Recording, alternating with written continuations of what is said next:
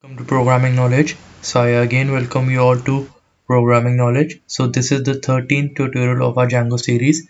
So guys, this is the GitHub link of our repository. You can clone this repository, download on your local machine, then run the project on your local machine. So these are the instructions I have defined below. So like in the previous tutorial, we were working on forms. So we had made a form using a uh, using a form template engine in Django. So uh, I had made a file name forms.py and then I had made a form. So this is the look of our form. Then in views.py file I defined two methods one was a uh, request method is equal to post and one was the get. So basically I'll give a quick overview of what we were going to do. So like when I refresh this page so basically on this URL I'm making a get request. And on having the get request so basically this block of code gets executed and this block of code gets executed and this uh, tells that uh, I had imported the form on the top of the file from dot forms import star. You can import any form. So uh, when you use star symbol so I uh, used form is equal to feedback form. So this was the feedback form which I was referring to. And then I was able to render this form on my on the front end part of my application okay? So basically what we are going to do first thing we are going to do is add bootstrap class to this form. So what you are going to do uh, wherever your input is defined inside forms.py file so you need to define a dictionary which has key value pairs. So basically this uh, dictionary is defined by uh, attributes. So attrs is equal to this is a symbol for dictionary. So it has a key pair okay basically uh, at the left it will have a key uh, key and then on the right it will have a value. So basically these attributes could be anything which could be name id class which uh, refers to the basic html syntax we follow. So what i'll do i'll define a attribute class and i'll uh, give it a value of form control. Form control. So uh, most of uh, us would be thinking why only form control as the class? Because this is the default class present in the bootstrap. So this will make a form responsive and for the uh, another text area I'll do the same. Okay I'll uh, basically quickly copy this. Uh, yes. And yeah now this is fine. So when I move to my page I'll uh, uh, I would see uh, bootstrap has been added to my form. Yeah here you can see the bootstrap has been add, added to a form. But this is this isn't responsive so what we are going to do uh, I'll go to my my form.html and I'll add a div. Class is equal to col medium 6 and I'll put this uh, form inside a div. Okay. And and what I'm going to do okay uh, to get the form on the middle of the page I'll define a style. Style is equal to margin 0 auto okay now this is fine. Okay. Yeah now this form is uh, is in the center of the page. Now this is good. Uh, to check the responsiveness i press ctrl shift i. And yeah now this looks good. Okay there is some issue. Okay yeah it's fine. Okay now this is form is responsive. Okay so this was uh, to the front end part. Now for the back end part what if I want to submit this form? To submit this form the method should be post method okay? And uh, I'll generate a token for this which says percent csrf underscore token. So a token is necessary when I uh, when you submit the form via post method okay? And uh, this is the form which I, I had rendered and additionally I need a button also. Button type is equal to submit class is equal to btn so this is a short form button primary. This is the default bootstrap class and I'll give the uh, submit. Okay. Okay now this is fine and I'll when uh, okay so here comes the button. So I'll give a bit a little bit of style to this button. Style is equal to margin 0 auto yes okay.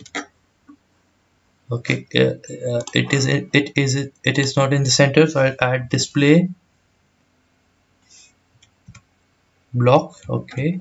And what I can to do okay margin 0 auto and 0 for the bottom. So uh, what I'm going to do so this is the uh, fold hand notation which says uh, on the top I'll give one rem and on the left and the right auto and on the bottom I'll give 0 so this will give yeah so it gives a margin top of one rem and on the left and right it was auto and the bottom it, it was 0 okay left and right auto top is one rem and the bottom is 0 so this is pretty fine now.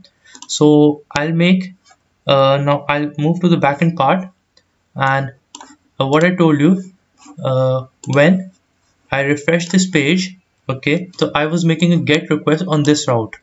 So when I made a get request on this route or you can say on get request on this URL so the form had rendered. But what if I make a post request? When I would be making the post request basically I would be submitting the form. Okay so when I'm going to submit the form so what I'm going to do I'll make form is equal to feedback form request dot post. Okay uh, sorry. Request dot post. So I'll uh, get all the values when the form has been submitted using the post method. Okay. Okay but still I'll make a if condition to check form dot is underscore valid uh, is underscore valid to make sure the form is valid. And I'll make title is equal to request dot post and title title title okay and subject. So uh, I'll make a, again a same request for the subject. Subject is equal to request dot post and subject. Okay now this one is fine. And I would print title here. And print subject here okay and I'll return an HTTP response. Okay but still uh, I'll make a var is equal to str form submitted. And I'll give plus str request dot method okay? So this is fine till here. Yeah. Now I'll return an HTTP response of var. Okay? If this form is not valid what I'm going to do so what I'm going to do I'm going to render the form again but uh, okay? And I'll define my dictionary is equal to uh, this dictionary is going to be same as this one. Here you can see form and form okay? And this is this I uh, and uh, I'll quickly copy this okay else. Okay now this looks fine. This code I, will quickly uh, uh, give a, a quick overview if the request dot method was get so this code of this block of code gets executed in which it says I'll uh, render the form on the front end part okay? Uh, when I submit this form so this block of code gets executed executed which says request dot method is equal is equal to post. So form is equal to feedback form I'll get all the values using request dot post. If the form is valid then I'll get the two values that is subject and title. Then I'll print the title print the subject and I have given a named variable which says form submitted by request.method and I will return the HTTP response of var. Else, if the form was not valid, so you need to uh, uh, check uh, uh, that if the form was not valid, so I would render the form on the front end part again. Okay, if the form was not valid. So uh, what I'm going to do, it says I'll test app debug. Okay but uh, okay before this I'll restart my server.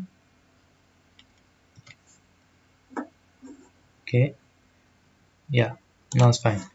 Okay I'll refresh this page. Okay I now when I refresh this page I made a get request.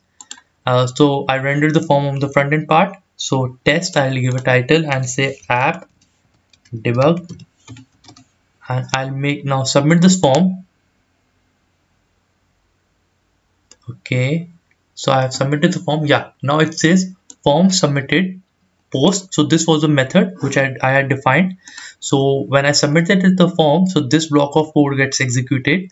And here you can see that I had uh, executed two print statement here. One was the title and one was the subject. So title corresponds to test. And this here you can see test was title and app debug was there in my subject part. So so thank you guys thank you so much. I'll catch up in the next tutorial. So uh, you need to be very careful by the, uh, writing this code. Uh, you need to be very careful about writing which if condition is comes inside which if then else then elif part. So you need to uh, have a quick uh, you need to have a good uh, overview on this. So in the next tutorial we are going to work how what happens if the user Uh, if the form is not valid or something is wrong then how we can show errors related to that form on the front end part okay? So so thank you guys. Thank you so much. I'll catch up in the next lecture